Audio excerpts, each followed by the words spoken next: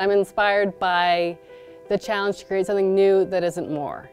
Um, I have this desire, this want to make things, but I also have this desire or want not to add more clutter to, you know, everything.